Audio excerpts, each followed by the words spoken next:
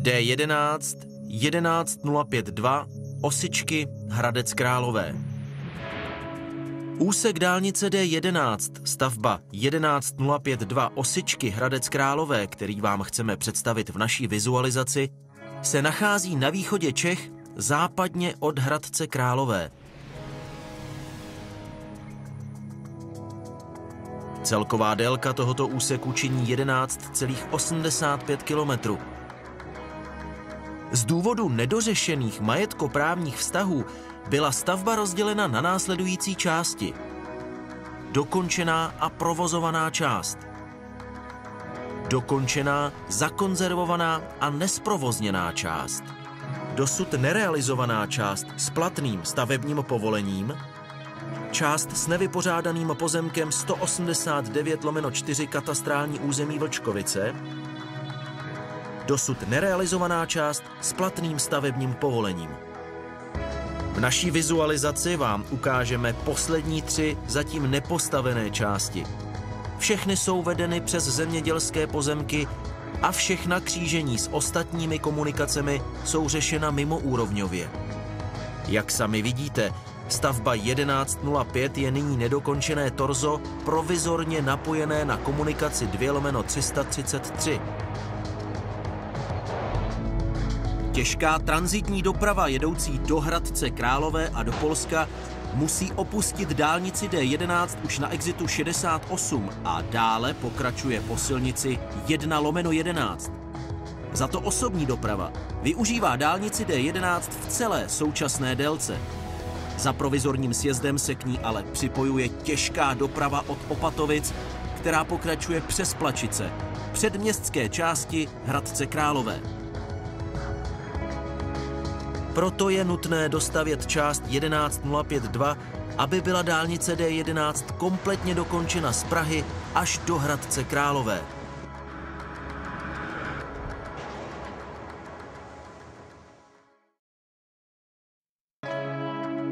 Schematická mapa v levém dolním rohu vám pomůže zorientovat se a bude také zobrazovat polohu kamery. První úsek začíná východně od Vlčkovic a navazuje na předchozí dokončený, ale neprovozovaný úsek.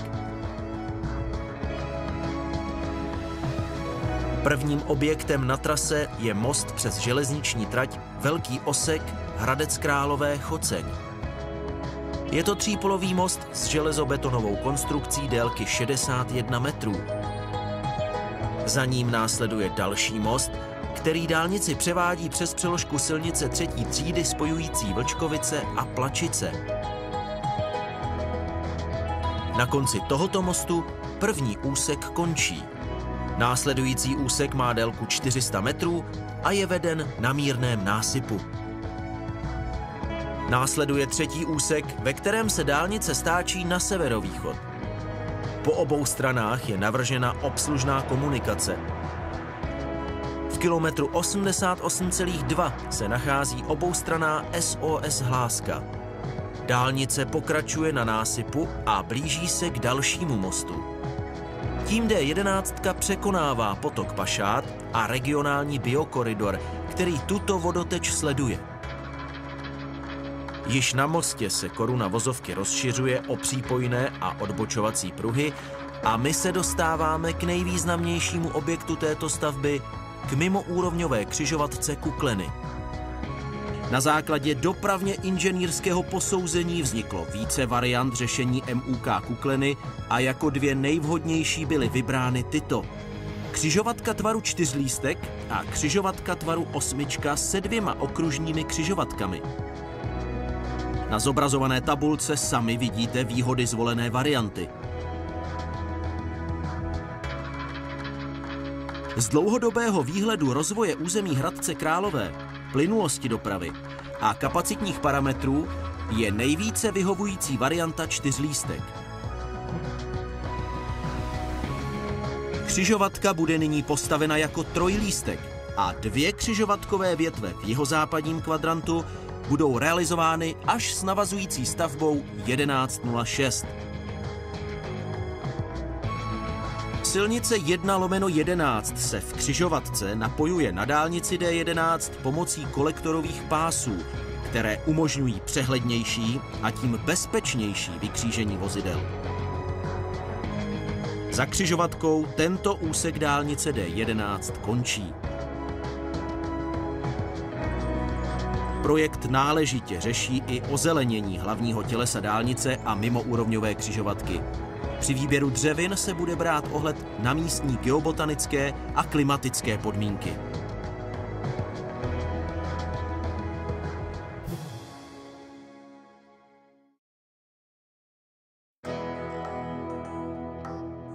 Neschody s výkupem stavbou dotčeného pozemku 189 lomeno 4 v katastrálním území Vlčkovic protáhlo dokončení úseku 11 lomeno 5 o mnoho let. Jednání se i nadále protahují a ředitelství silnic a dálnic dochází čas. Proto bude nutné v zájmu dostavby dálnice přejít k razantnějším krokům. Připomeňme si historii postupu jednání ředitelství silnic a dálnic s majiteli pozemku. V roce 2002 bylo požádáno o převod pozemku z pozemkového fondu na ředitelství silnic a dálnic.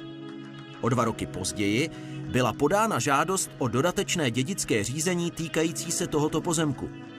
Po dvou letech, v listopadu 2006, získávají vlastnické právo k tomuto pozemku inženýrka Havránková a inženýrka Štrosová.